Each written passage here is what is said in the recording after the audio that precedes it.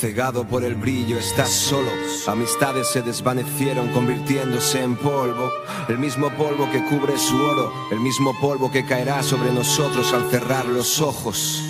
Cuando se apague la luz, no hay oro que ilumine el rostro pálido tirando azul.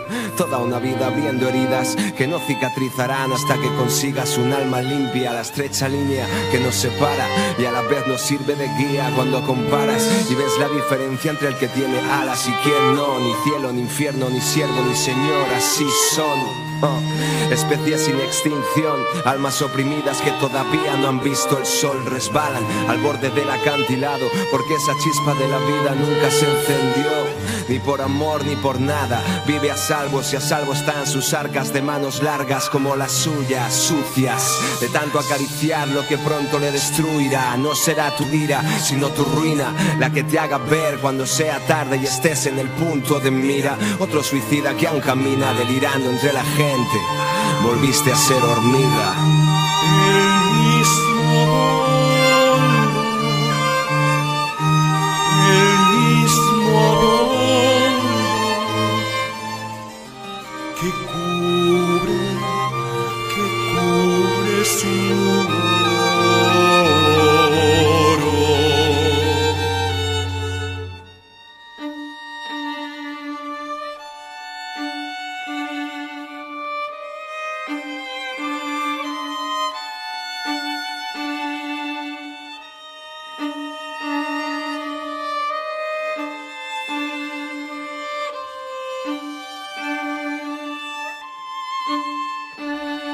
Todos quieren y envidian lo que tienes.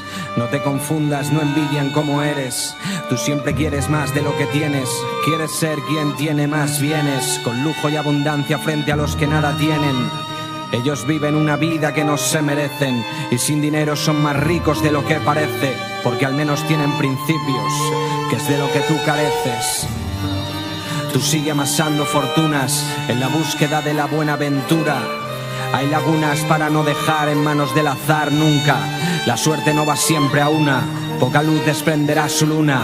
Cuando vean que el castillo de naipes del aire se derrumba, que la codicia no fue buena consejera y que el poder en soledad no merecerá la pena. Tú tienes mucho que ofrecer, nosotros sin embargo nada que perder.